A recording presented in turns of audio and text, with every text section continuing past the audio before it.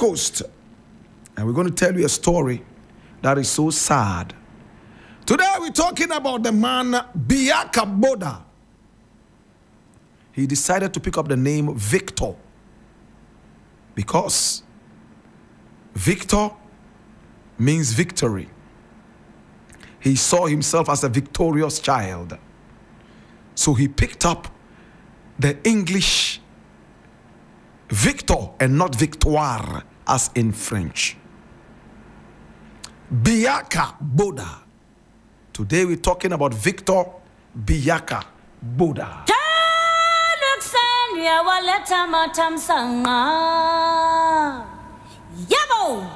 Victor Biaka Boda, whose photograph you see right here on our screens. Oh my God. In the African history class. Was born on February 25, 1913. Only four years after Kwame Nkrumah was born.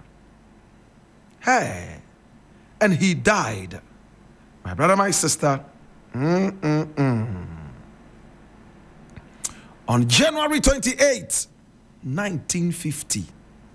My brother, how old was he at the time of his death? Very, very young. He was born on the 25th of February, 1913, and he died in January, on the 28th of January, 1950.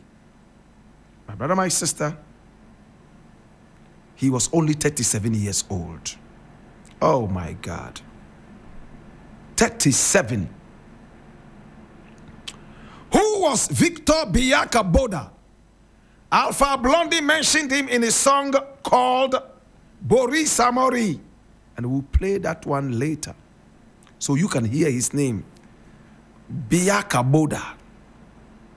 Listen to this interesting story. Biaka Boda was a shaman. S H A M A N. What does it mean to say shaman? It means he belonged to the religion known as shamanism. Shamanism is a religious practice that involves a practitioner interacting with the spirit world through altered states of consciousness, such as trance.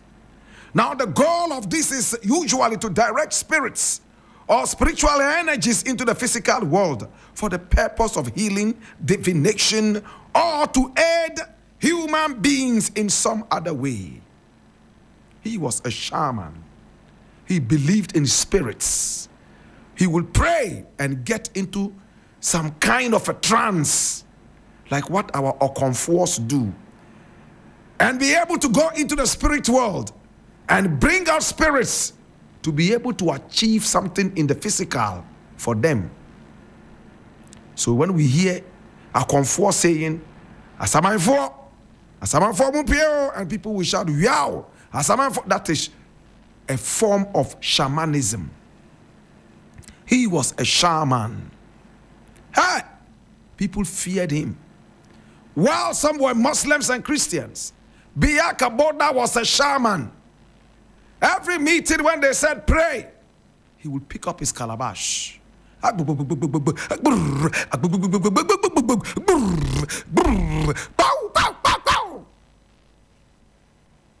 was his prayer. Aish! My brother, my sister, he was a strong Pan Africanist. He didn't believe in anything white. Everything black he believed in. But interestingly, he was most of the time seen wearing suits. Then he went into politics in the Ivory Coast. Hey! And you know what happened? When he got into politics, he decided to add Victor to his name to mean that he always won. Hey, you know what thing happened? He was a member of the Democratic Party of Cote d'Ivoire. That's the African Democratic Rally. And in 1948, you know how old he was? Oh my God. In 1948, a little above 20 years, my brother, my sister, in his 20s, he was elected to the French Senate. Oh my God. As a parliamentarian, he served his people well. Mm. He served his people so well. He encouraged people to be Africans and not French people. He wanted the local languages of the Ivory Coast to be spoken in parliament and not French.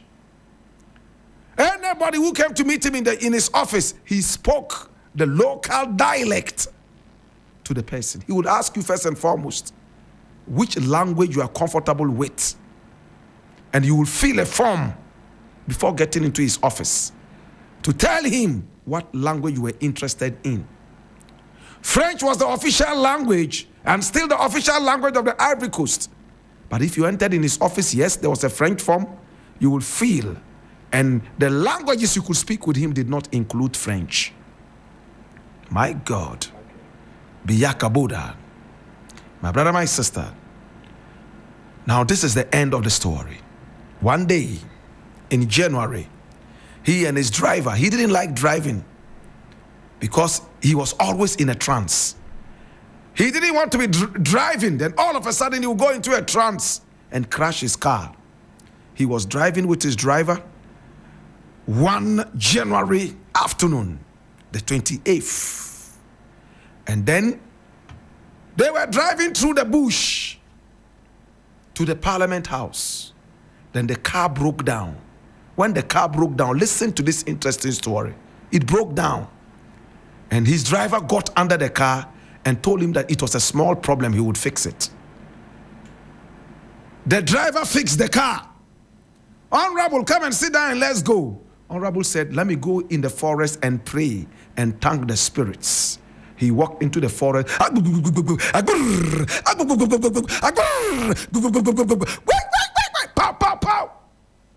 He was praying. All of a sudden, there was silence. Driver waited and waited and waited. And look at the news that came out.